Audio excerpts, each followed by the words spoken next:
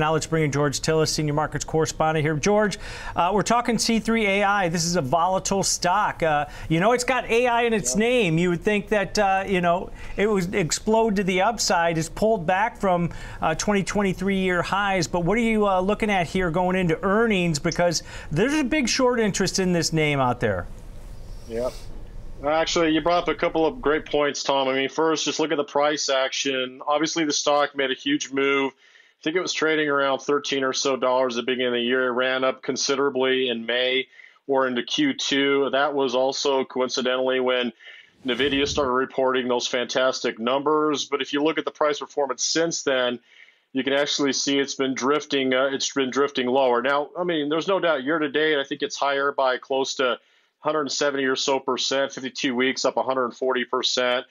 But I think uh, when it comes to C3AI, you know, short interest is something I was actually going to bring up. It's high, around 35 percent of the free float. So uh, that begs the question: What's going on with the company now? If we consider the business, obviously, enterprise artificial intelligence is going to be the norm uh, across the board in every industry group, uh, irrespective of what they're in also from the standpoint of consumers and businesses utilizing artificial intelligence.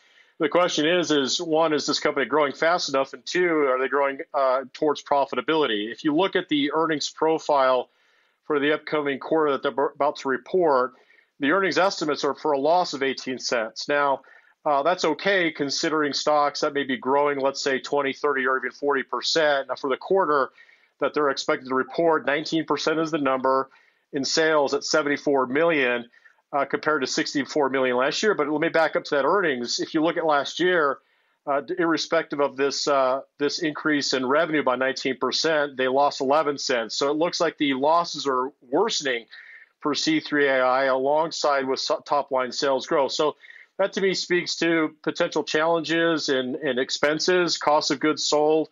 I think the other thing about C3AI, which again is very important, I suggest when they report their numbers is the number of customers. In other words, the concentration risk of customers. Because going back just a couple of years ago, they, they declared as a company that more than 25% of their sales came from one customer, and that was Baker Hughes. They do have a lot of exposure in the defense markets. Booz Allen Hamilton is another customer of theirs. But I will, you know, stress this is a market where again profitability is going to make a big difference. That's why we're seeing Nvidia hold up very well. And some of these non-profitable uh, artificial intelligence companies that are facing some competition are starting to drift lower, and I think C3AI is moving lower for a reason. Yeah, George.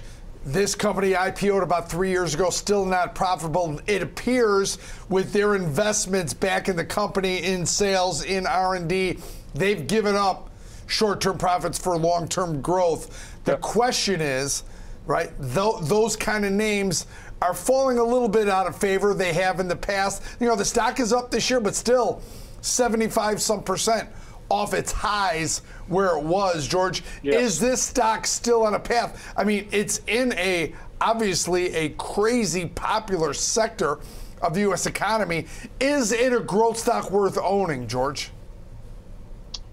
Well, I mean, it's a good question, Kevin. You know, I will say this just look at the dispersion and price action. Obviously, you know, if you look at the main architect of artificial intelligence hardware, NVIDIA, that price is, is holding up quite well uh, on a year to date basis, even on a 52 week uh, high basis. I think that if you look across the board, artificial intelligence was a, was a big, it's still a hype. Uh, I think it's still growing, but I think it comes down to competition. You know, AI or C3AI was or is a company that was, uh, you know, a namesake company prior to this craze that we've seen in the last year but you also think about the competition, which is becoming very robust uh, in this space.